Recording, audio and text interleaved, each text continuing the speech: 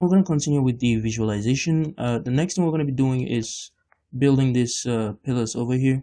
So what we're going to do is to take a look at the length. We, we're going to work on this one first, okay? So let's get over here. I'm going to go into edit mode of this wall over here. And I'm going to go into vertex select mode. Take this vertex, take that vertex, press shift and D to duplicate it. Right click to keep it in place and I'm going to press F to fill it. And now what I'm going to do is to press E and then Z, extrude this all the way down. And I'm going to take this vertex as the uh, last selection. Make sure the uh, pivoting point is set to active element. I'm going to press S and Z and type in 0. And I'm going to make sure I select only that uh, face over there. I'm going to press P and separate the selection. I'm going to go out of edit mode, take this, and uh, let's go back into edit mode. First, let me apply a scale, and let me go back into edit mode. So it's about uh, 4.69 meters high. So let's make sure we get that. I'm going to pull this up till we have 4.69 like that. 4.69 meters high and now I'm going to take the whole thing this whole thing from here. I'm going to extrude it in the y-axis and I think the uh, the length is uh, 1.63 so I'm going to have 1.63 about there like that. And now I'm going to create the uh, the cutouts in it I mean the cutout in it and we're gonna press we're gonna do that by pressing uh, control and r3 here but first what i'm gonna do is okay let me press control and r3 here like this okay? So we're gonna add in one loop cut just like that. And we're gonna press control and b until we have a a bevel with a space between them that is about 0.546 so 0.546 so just make sure we have 0.546 like that. Come on yeah there we go. So just like that. And i'm going to pull this I'm going to pull it in the y-axis closer to the other side like that. As you can see right here, you can see the inside is much thicker than the outside. So I'm going to pull it just a bit closer to the outside like that. And now the height from there is uh, 2.82. So I'm going to press Control and R3 here. Yeah, I want to press Control and R3 here until we have 2.82 over here. Right there, like that. And I want to take these faces, one, so just select that one, hold down control and click on this one. It selects all of those faces for you. Going to press X and delete the faces. And I'm going to take this edge over here and press F until we fill it all, just like that. So that finishes the first one. Now we can go on to the second one. So let's get on over here. And first of all, let me make sure the length is correct. So I think the length is supposed to be, this one is 1.63. Yeah, so that's right. So let's go on over here. Let's take this take this vertex over here and take that vertex. Same way we did that one. Shift and D press F to fill it. I want to extrude it in the Z axis take this vertex press S and then Z and type in 0 and now I want to take that face press P and separate the selection. Now I want to take this go in here. First of all let's apply scale. Go in here. The height is about uh, 8.61 meters high. So we're going to pull this up until we have 8.61 sorry about that until we have 8.61 just like that as you can see. And now what I'm going to do is I am going to extrude this. I'm going to take everything. I'm going to extrude it in a y-axis until we have about uh, hold on let me see.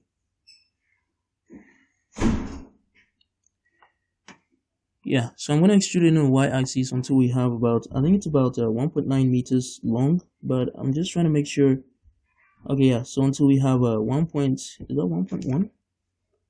Yeah, that's one point one. So I'm gonna extrude it in this axis until we have one point one, just like this. And what I'm gonna do next is I'm gonna take. Let me press Control and R. So here is that it? No, hold on.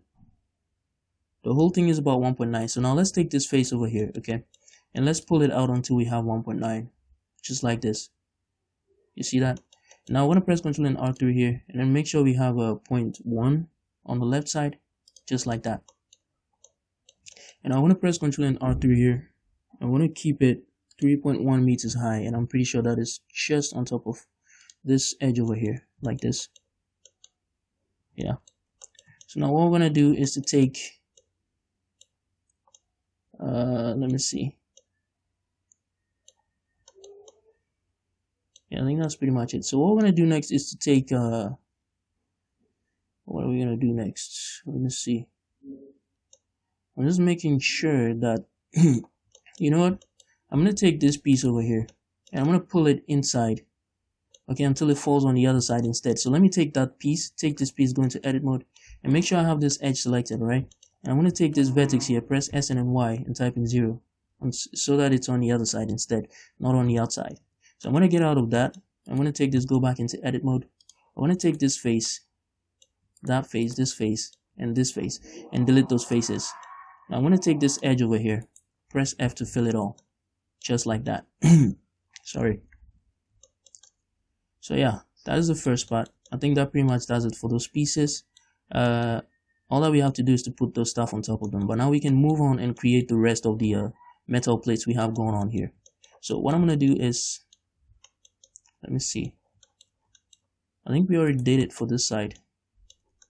Let me see. Yeah, we already did it for this side. So I'm gonna go onto this side. Let me take all this. It goes all the way to the other side. So I'm, I'm just gonna split this one over here.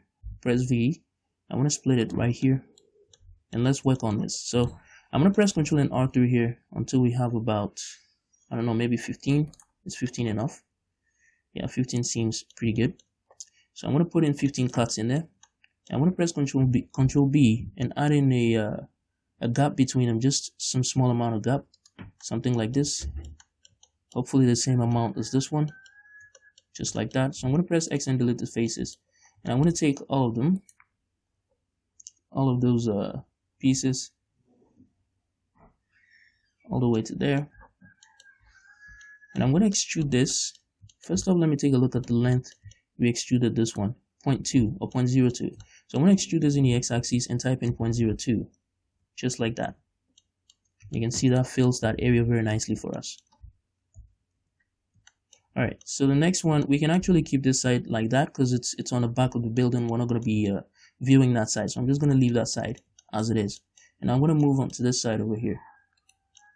Let me split it over here first. So let me get over here and split it here by pressing V, just like that. And I'm going to get over here. Now, this one, this piece here is much longer. It's about uh let me see. That one is 0.799 high. So i'm going to drop this down until we have 0.799 on the side. 799 come on a bit more just like that. All right so you can see what i'm trying to achieve here. Now i'm going to take this press v to separate the selection. And i'm going to press control. We have about one two three four five six seven eight eight of them in there. So we're going to put seven in here like this to get the eight. Just like that. One two three four five six seven eight. Just like that. And i'm going to press control and b. Well first off let me take this edge over here. Let me take this edge over. Is that the right edge? No. So this one right here and i'm going to pull it in the x-axis i'm going to press g and then x and type in 0.02 negative 0.02 and then I'm going to move it just a slight more like that. And now let's add in that seven loop cuts. Now we're going to create the gap between them by pressing ctrl B and add in some tiny gap between them like that. I'm going to press X and delete the faces just like that.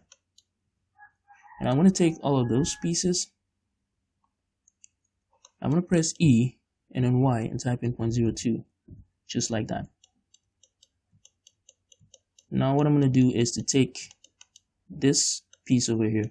I'm going to press uh, let me see. Okay so let me take both of these and pull it in the x-axis. Is it the x-axis? Yeah. So I'm to pull it in the x-axis to about here and I'm to press shift and D and then X and then press F to fill it.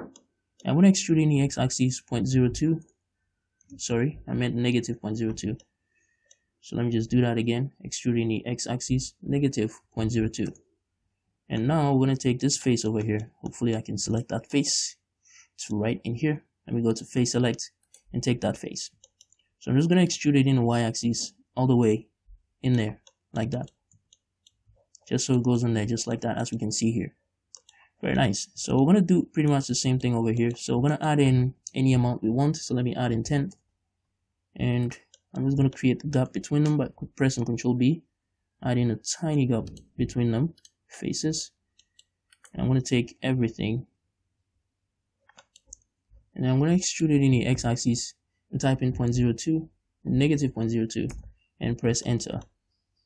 Just like that. All right so now the final area we have to uh, create those slabs uh, those metal plates for is this area right here. So what we're going to do is to take uh how are we going to do this?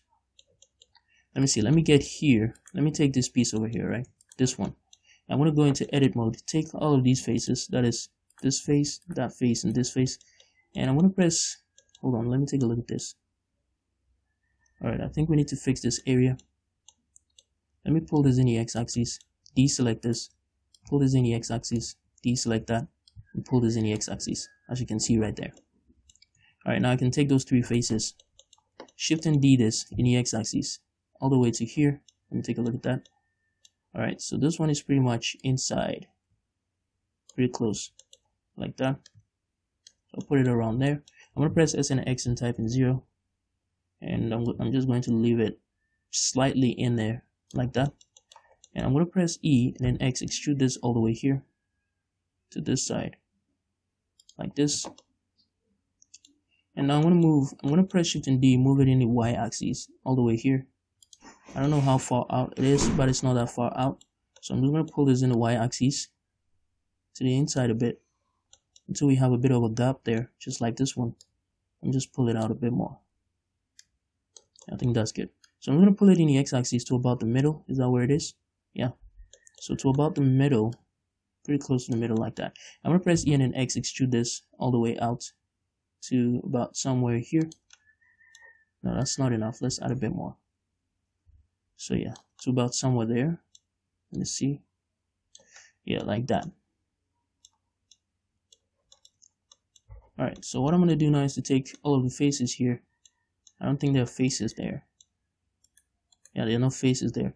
They're just edges. So let's take all of those edges. And now let me see. There's one more. Let's take that as well. Yeah there we go oh there's actually faces there. So let's delete those faces. We don't need them. Yeah so we're going to take all of those make sure they are selected right. And uh, I'm just going to pull it I'm just going to pull it in the y-axis all the way inside that one like that as you can see.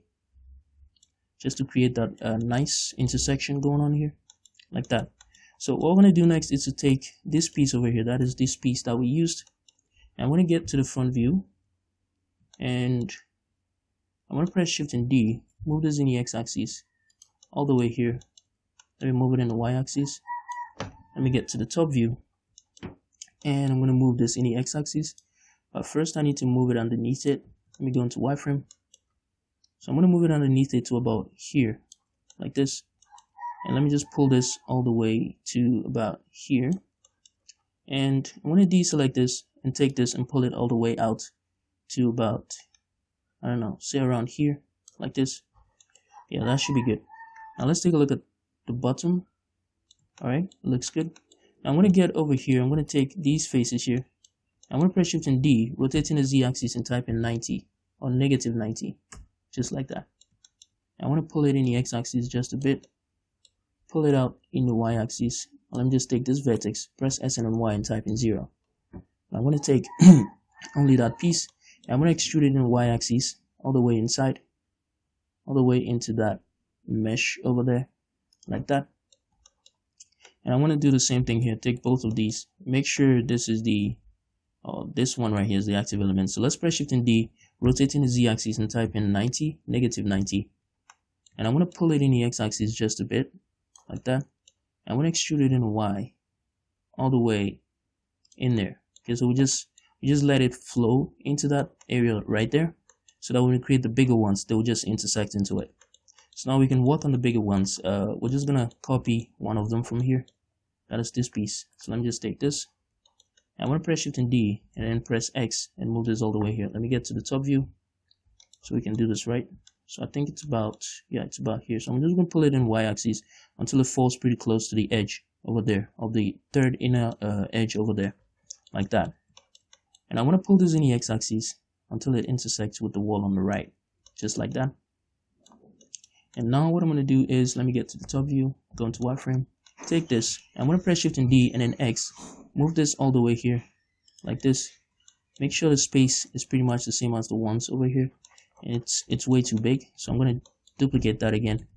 Shift and D and then X. Make sure the gap is not too much. Let's compare that and I think that's pretty good now all I'm going to do now is to press shift and R once. And uh yeah. That should be good I think. Uh I think this this we're actually gonna have to make this one a bit longer because it's not uh, filling the whole thing. So I'm gonna take this vertices here. Let me change back to median point. I'm gonna pull this in the x-axis just a bit like that. And I'm gonna take the whole thing again. Press shift and D and then X. Pull this all the way to about here and then press shift and R just like that that gap is too big so I'm gonna try that again shift and X just a tiny bit of gap like that and then shift and R Alright, okay, I think we have to go one more. So shift and D and then X again. Just like that. Yeah. Alright. So that is looking great. That is all of the uh, metal plates that go around the uh, the building and that is pretty much where I'm gonna end this part over here. The next thing we're gonna do is to cover up the uh, the bottom area of these uh, roof. So yeah. I'm to end the next part over here. I'll see you guys in the next video.